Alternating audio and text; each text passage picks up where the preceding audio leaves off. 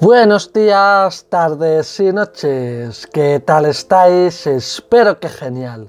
La semana pasada estuve preguntando en las redes sociales si os gustaría que haga vídeos hablando sobre deporte, especialmente sobre fútbol y ciclismo, sobre otros deportes también y sobre futbolistas, ciclistas y otros deportistas que tienen historias realmente impresionantes y además de los que se puede aprender mucho en lo relacionado con la mejora personal, el crecimiento personal. Hay historias que merecen ser contadas y me gustaría empezar esa saga de vídeos hablando del mítico e inolvidable Don Luis Aragonés. El pasado viernes 1 de febrero se cumplió el quinto aniversario de su fallecimiento. Eh, nació en Madrid el 28 de julio de 1938 y aunque mucha gente no lo sabe, fichó por el Real Madrid con 20 años proveniente del Club Getafe Deportivo.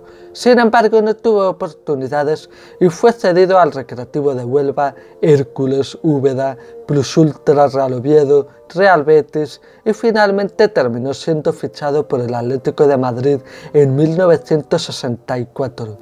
Ahí comenzaba la epopeya legendaria de su pasión por el fútbol, un gran futbolista y un inolvidable entrenador. De hecho, como entrenador logró grandísimos títulos, logró llegar a finales de la Copa de Europa y logró una Eurocopa con la selección española. Entrenó al Atlético de Madrid, Real Betis Balompié, Barça, Club Deportivo Español, Sevilla, Valencia, Real Oviedo, Club Deportivo Mallorca y Fenerbahce. Fue entrenador de la selección española entre 2004 y 2008. Tiene muchísimas frases y he recopilado algunas de ellas que creo que os pueden ayudar al crecimiento personal, a la mejora personal, porque son realmente impactantes. Comienzo con una que para mí es la más impactante quizás, que es la siguiente. Me gustaría que la selección tuviera un nombre, una identidad. Igual que Brasil es la canariña o Argentina la albiceleste, me gustaría que España fuera la roja. Esto lo dijo en verano de 2004, cuando llegó al banquillo de la selección española. Y de ahí viene el apodo de la roja actual, que por cierto no tiene nada que ver con lo político ni con ideas políticas o asuntos extraños, sino que es simplemente porque la camisa de la selección española ha sido siempre de color rojo, salvo la guerra civil que vistió de blanco y los primeros años del franquismo hasta el 47 que vistió de azul. De hecho, tanto el blanco como el azul se quedaron después como colores de la segunda camiseta. También se ha usado el color negro, se han usado otros colores, me parece, pero siempre la selección española ha vestido de rojo.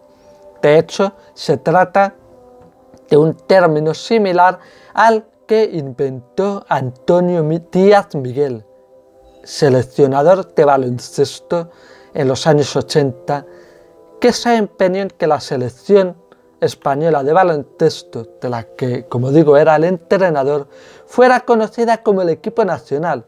Quería que la gente fuera de la selección igual que de su equipo y consiguió que España consiguiera la medalla de plata en los Juegos de Los Ángeles 90. 82 perdón, en baloncesto, una final en la que participaron grandes leyendas tanto españolas como estadounidenses que seguramente mm, os recordéis algunos o hayáis oído hablar de ella otros, ¿no? pues según la edad que tengáis y demás. Corbalán, Epifanio, Romay, Turriaga o el inolvidable Fernando Martín por parte de España Magic Johnson, Michael Jordan o Patrick con Estados Unidos. Tiene, como digo, más frases realmente impresionantes, como una de la que voy a cambiar una palabra porque, bueno, por puro respeto, ¿no? Más bien. Pero es la siguiente. Ha llegado el momento después de unos años. Nos ha metido tortas de todos los lados, de todos los colores vamos a demostrarlo aquí. Eso lo dijo antes de la España-Rusia. En vez de tortas dice otra palabra, que como digo la he cambiado. Y bueno, es una frase que hace referencia a nuestro caminar vital, a cuando deseamos hacer algo en concreto en nuestras vidas, cuando nos marcamos un proyecto, una forma de vida, ¿no? Pues a lo mejor hemos recibido golpetazos en los años anteriores o en otros momentos de nuestra vida, pero eso no quiere decir que no seas capaz de lograrlo, ¿no? Sino que tienes que demostrarlo. No sé si en otro vídeo comenté lo de aquella canción de Voy a hacerlo, claro que lo harás. La pregunta es si lo lograrás. Claro, porque has recibido a lo mejor muchos golpes, pero tú tienes que demostrar que te sientes capacitado para algo. Sea estudiar una carrera, sea trabajar en un sitio, sea escribir un libro, sea lo que sea. Tienes que tratar de demostrarlo. Lo podrás lograr o no, pero por lo menos inténtalo. Inténtalo además con seriedad. Y tampoco te rayes porque te hayan metido tortas en otros momentos o porque tengas miedo a qué sucederá mañana. Lo importante es lo de hoy, lo del momento presente. Aprender de las cosas del pasado, tanto para bien como para mal, tanto lo que debes de hacer como lo que no debes de hacer y intentar lograr tus sueños. Lo cierto es que Don Luis Aragonés formó a una grandiosa generación futbolística. Hay jugadores míticos que aunque aún siguen siendo futbolistas, pero ya son mitos de nuestro fútbol, como Andrés Iniesta, David Villa, Fernando Torres. Lo cierto es que hay dos detalles que a mí me recuerdan mucho a la epopeya de Don Luis Aragonés. El primero es lo de las Olimpiadas de Barcelona, donde se consiguieron 22 medallas. Fue un evento que motivó a muchos jóvenes deportistas y a muchos niños que terminaron siendo deportistas que consiguieron, consiguieron ser los mejores del mundo. Rafa Nadal, Alberto Contador, el mismo Miguel Indurain, Pau Gasol, Miraya Benimonte, y todos se esforzaron, todos trabajaron por lograr sus sueños. Lo cierto es que antes de Barcelona 92 se habían ganado algunos grandes torneos de baloncesto, también de ciclismo. Por ejemplo, estaba Pedro Delgado, en tenis estaba Manuel Santana, en esquí estaban los hermanos Paquito y Blanca Fernández Ochoa, la mencionada medalla de plata en Los Ángeles 84 de baloncesto, pero parecían victorias puntuales y que el deporte español, el fútbol español sobre todo, nunca iba a lograr grandes cosas. ¿no? Pero lo cierto es que se creó una generación de futbolistas con la ayuda de Don Luis Aragonés que llegaron a ser campeones del mundo y se convirtieron algunos de ellos en los mejores del mundo, sobre todo Andrés Iniesta que, aunque yo soy madridista, pero le honro, porque es que me parece el mejor del mundo, bueno, junto a Leo Messi, junto a Cristiano Ronaldo y junto a otros, ¿no? Pero creo que Andrés Iniesta tendría que haber ganado el Balón de Oro en 2010, sinceramente. Pero hay otra cosa que a mí me recuerda mucho a lo que realizó Don Luis Aragonés en la selección española de fútbol, y es que en este deporte, una de las cosas que ayudó muchísimo a miles de niños, especialmente a miles de futbolistas, bueno, no sé si a miles de futbolistas, pero a muchos futbolistas que llegaron a ser los mejores del mundo, fue la serie de dibujos animados Oliver y Benji. Mm, los que os acordéis de ella o la hayáis visto en algún momento de vuestras vidas, el Newpie era un equipo que parecía que nunca iba a poder ganar al San Francisco, un equipo que siempre goleaba al Newpie. Sin embargo, todo cambió con la llegada de Oliver Atom, Roberto Sendinio y Tom Baker. Pues eso es algo parecido a lo de mm, Luis Aragonés. La selección española parecía que nunca iba a ser capaz de ganar nada, aunque había ganado una Eurocopa en los años 60. Sin embargo, creíamos que no íbamos a conseguir ganar nada nunca, hasta que llegó Luis Aragones. Y él con su trabajo y futbolistas con mucho carácter y con mucha calidad, como Iniesta, como tantos otros, ¿no? Eh, Cesc, y los que he mencionado antes y otros que, no he mencionado, llegaron a proclamar campeona de la Eurocopa España, llegaron a conseguir también luego con Vicente del Bosque el campeonato del mundo y la otra Eurocopa lograda en 2012. Hay otra frase de don Luis Aragonés que es impresionante. Forman ustedes un grupo excepcional si no llego a la final con este grupo es que soy un mierda. He organizado una mierda de equipo. Esto lo dijo en una charla previa a un encuentro de la Eurocopa 2008. No es una crítica a sus jugadores, al contrario, es una estimulación, es una manera de motivarles, de decirles, van a llegar ustedes a la Eurocopa, van a ganar la Eurocopa, van a llegar a la final y la van a ganar. Y si no lo conseguimos, es que yo soy un mierda, no va a ser culpa suya, es que yo soy un mierda. Pero no porque él tuviera poca confianza en sí mismo, sino que era la manera de motivarlos. Porque evidentemente tenía confianza. Otra de sus frases era, las finales no se juegan, se ganan. Y es como motivó a los jugadores. Y es lo que tenemos que tener presentes en nuestra vida. Es, quiero lograr un proyecto, quiero lograr un objetivo. Pero no se trata con decir, lo voy a intentar. No, se gana. Luego puede ser que no, que no ganes, o puede ser que no consigas ese objetivo, pero por lo menos inténtalo. No de quedes parado con los brazos cruzados. Bueno, voy a escribir un libro, no sé si publicaré, pero lo voy a intentar.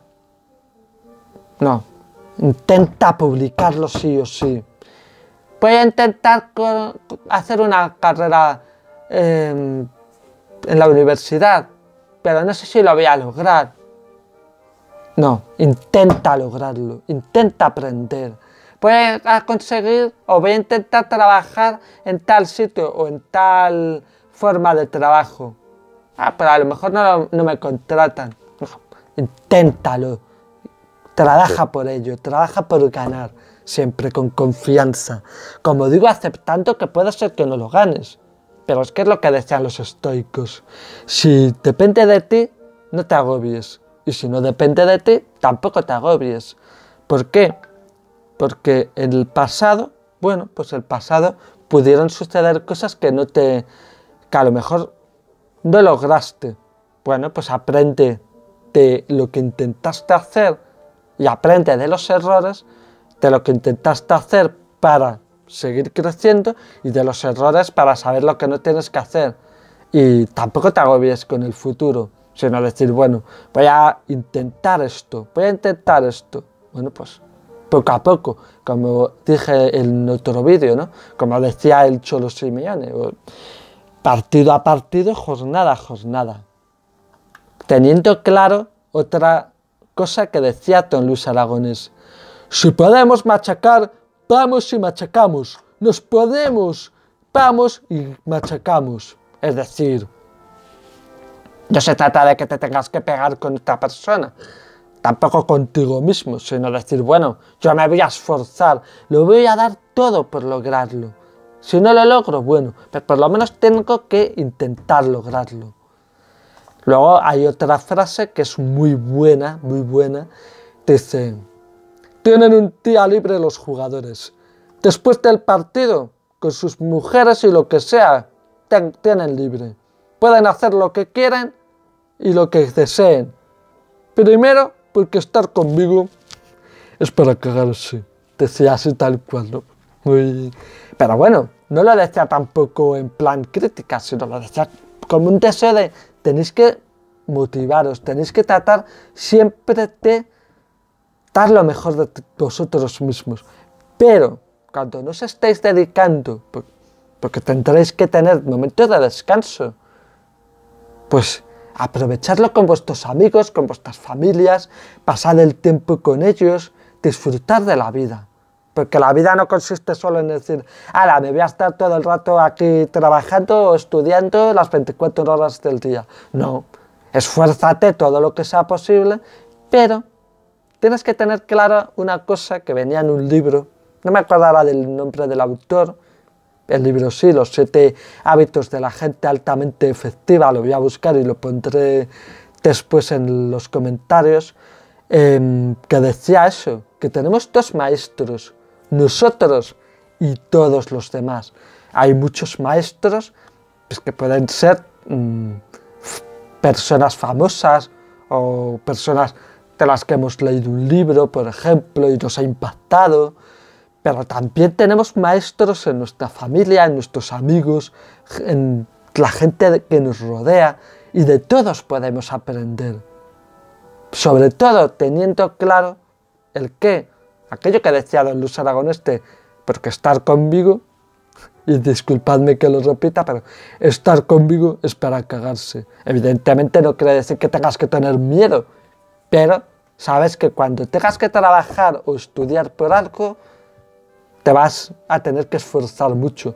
Por eso es bueno tener momentos de descanso, momentos pues, de estar con los familiares, con los amigos, momentos para orar o para meditar o para ver una película o para, para descansar y para despejar la mentalidad, para despejar la mente.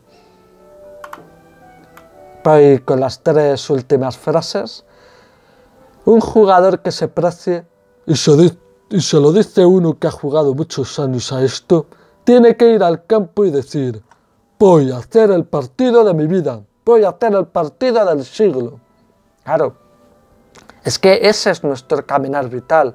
Cuando quieres hacer un proyecto, quieres lograr un objetivo, un sueño, tienes que trabajar día tras día, como digo, partido a partido, jornada a jornada, teniendo claro que vas a hacer el partido del siglo.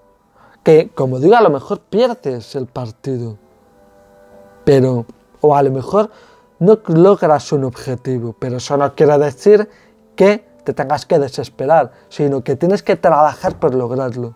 Y si no lo logras, quedarte con las cosas positivas como aprendizaje y con los errores, no para amargarte y deprimirte, sino para decir, vale, esto de aquí que he hecho no lo puedo hacer, tengo que hacer lo otro, o tengo que hacer lo que hacen los que han triunfado en ello, pues para aprender a hacerlo bien.